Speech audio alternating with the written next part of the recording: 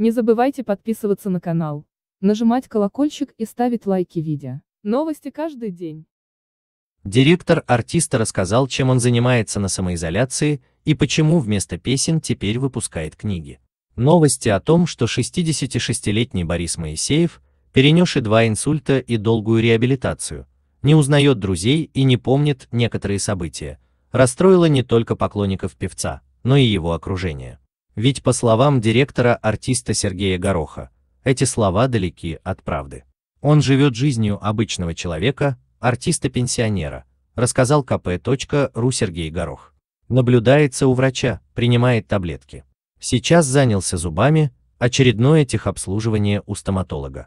И так же, как и все мы, с нетерпением ждет, когда закончится пандемия, чтобы летом совершить свою традиционную поездку в Юрмалу. То есть в этом году Борис Михайлович вновь собирается на фестиваль Лаймы Вайкуля. Безусловно. Насколько известно на сегодняшний день, фестиваль все-таки состоится. А Моисеев будет почетным гостем. Борису Михайловичу невозможно дозвониться. Это правда, что ему завели секретный телефон для связи с самыми близкими. Да бросьте, он на связи.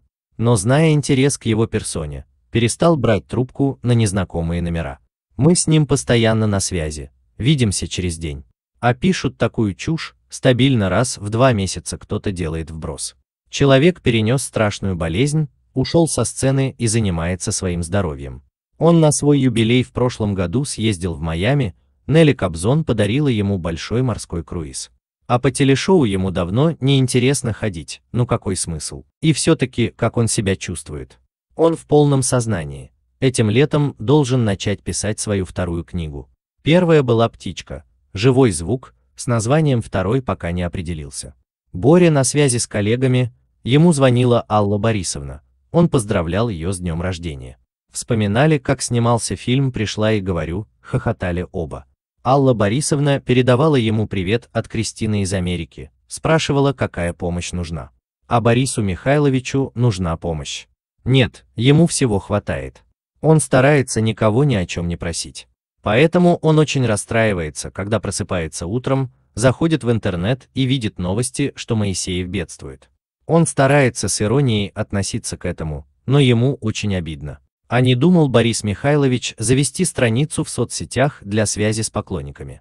Его ведь любят и ждут, плюс это пресекало бы всевозможные домыслы.